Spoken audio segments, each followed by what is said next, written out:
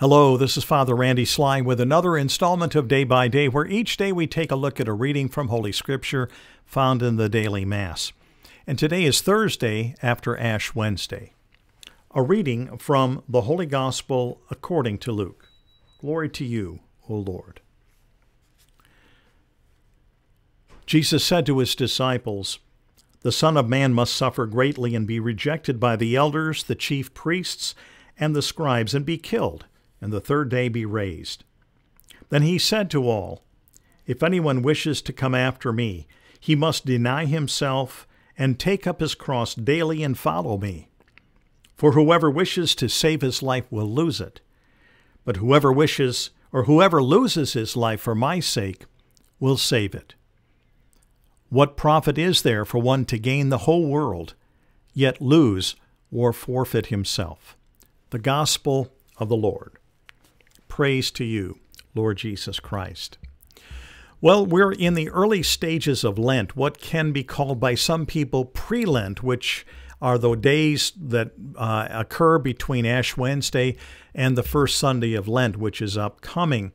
And during this time, as well as the first three weeks of Lent, we uh, have readings from the Synoptic Gospels. And the Synoptic Gospels really give us a glimpse into the life of Jesus. They basically take, him, take us through some of his ethical teachings. They also reveal to him the calls that he has on our life. For example, in today's gospel, we have the call to discipleship, which is taking up our cross daily and following after him. And then after the first three weeks, where we are in the Synoptic Gospels, for the final weeks of Lent, we find ourselves in John's Gospel, and we are basically given uh, a look at the Christological uh, ver- uh, versions of the Scripture, the Christological uh, and uh, re- uh, revelations of his divinity that particularly are found in John's Gospel. So there's a shift that takes place. And what happens is that, um, as, as some theologians would put it, that we're in a time of compunction. And that word comes from the word puncture. And so what we're doing is in these uh, Christological, or excuse me, in the synoptic passages, we're being given an opportunity to puncture those areas of our life that need to be deflated, those areas of life that have been uh, erected by us that are not really in line with Christ's teachings, in line with Christ's call upon us and upon our lives. And so today he lays down the very basics that we are to take up our cross daily and follow him. And of course, that scripture came with a lot of head scratching at the time of Jesus because at that time people didn't understand the cross. And as he said um, to them at this point, that uh, the Son of Man must suffer greatly, be rejected by the elders, uh, the chief priests, and the scribes, and be killed. And that is something that they didn't really understand fully until his crucifixion and resurrection.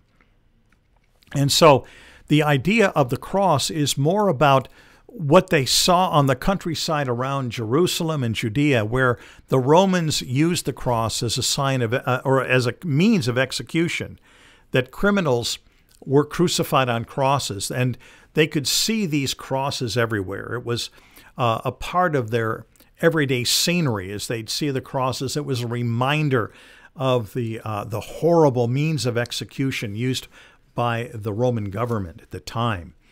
And yet, at that time, then Jesus uses this image already in preparation for his own passion, death, and resurrection, but particularly for his death, that his crucifixion on the cross would be a sign that others would have to take up.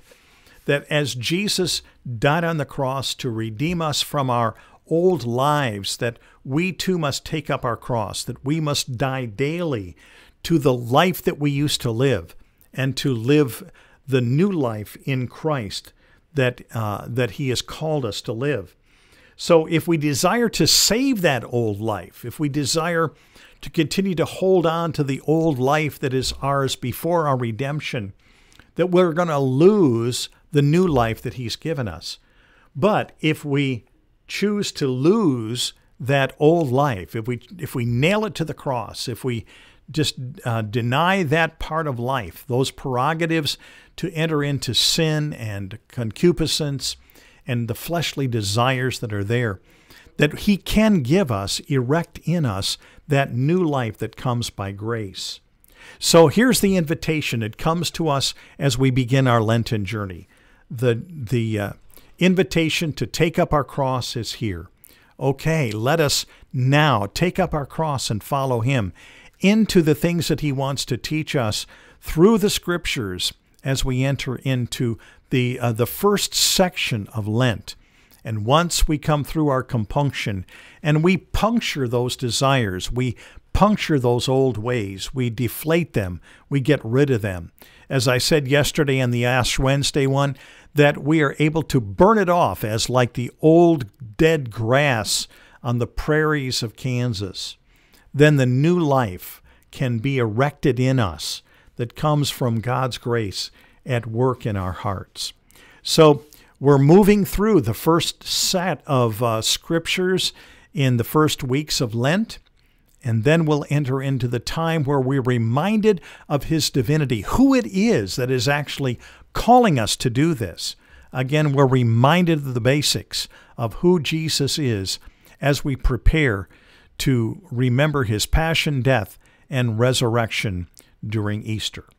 So may the words of my mouth and the meditation of our hearts together be acceptable in your sight, O Lord, our strength and our Redeemer. Amen. Well, I hope that you'll join us on this journey through Lent on day by day and have an opportunity to go through the scriptures together to seek the, the call of Christ for our lives and then to have Him reveal to us in even greater ways who He truly is in us and through us and for us. And may Almighty God bless you, the Father, the Son, and the Holy Spirit. Amen.